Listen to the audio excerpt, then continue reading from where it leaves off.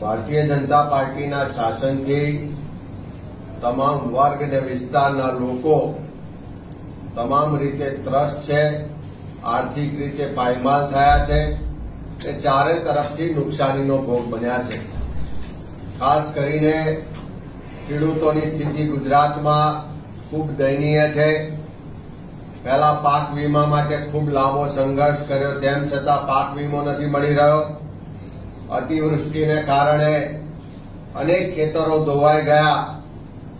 ખૂબ મોટા વિસ્તારોમાં ઊભો પાક નિષ્ફળ ગયો ને સરકારે ખાલી જાહેરાતો કરી કે સર્વે કરીશું, નુકસાનીનું વળતર આપીશું. પણ આજ દિન સુધી એની કોઈ કાર્યવાહી નથી થઈ, કોઈ નુકસાની નથી મળી.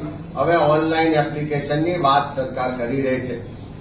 અને સાથે કેન્દ્રની ભારતીય જનતા પાર્ટીની સરકારની કૃષિ વિરોધી નીતિઓને કારણે, ખેડૂત વિરોધી નીતિઓને કારણે દેશની પાર્લામેન્ટમાં જે ત્રણ કાળા કાયદા પસાર કરવામાં આવ્યા અને એના કારણે આખા દેશના ખેડૂતોમાં આક્રોશ છે.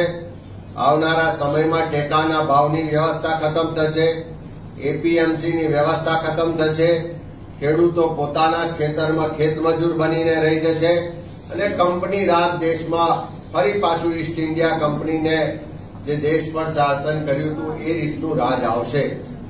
એના વિરોધમાં અને ખાસ કરીને કોરોનાની મહામારી, લોકડાઉનને કારણે જે ધંધા વેપાર ચોપટ થયા છે, લોકોની આર્થિક પાયમાલી થઈ છે, આવકો ઘટી છે, નોકરીઓ છૂટી ગઈ છે અને જે મધ્યમ વર્ગનો પરિવાર પોતાના બાળકોના શિક્ષણ માટે તકલીફ વેઠી રહ્યો છે. ત્યારે કોંગ્રેસ પક્ષને તમામ વાલીઓની એક જ લાગણી હતી કે શાળાઓ લાંબા સમયથી બંધ છે, નવા સત્રમાં શાળા શરૂ જ નથી થઈ, તો જો શાળા શરૂ ના થઈ હોય તો ફી શું કામ ભરવાની હોય? અને એ માંગ સાથે વાલીઓએ કોંગ્રેસ પક્ષે સરકાર પાસે માગણી કરી હતી કે પહેલા સત્રની સંપૂર્ણ ફી માફ કરવામાં આવે અને એના માટે સરકાર પેકેજ જાહેર કરે.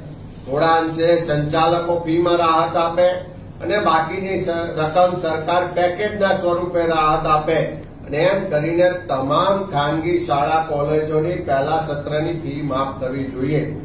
સરકારે લાંબા સમય સુધી એમાં ડાક પીછોડો કર્યો, પોતાની જવાબદારીમાંથી પાછા હટવાનો પ્રયાસ કર્યો. પણ જ્યારે નામદાર હાઈકોર્ટે સરકારને કીધું કે તમે સરકાર છો, તમારી જવાબદારી છે, નિર્ણય લો, ત્યારે કમનસીબી ઉદ્યોગપતિઓને આપવાનું હોય તો આખી તિજોરીઓના દરવાજા ખુલ્લા મૂકવામાં આવે, સરકારી ખજાનો લૂંટાવવામાં આવે.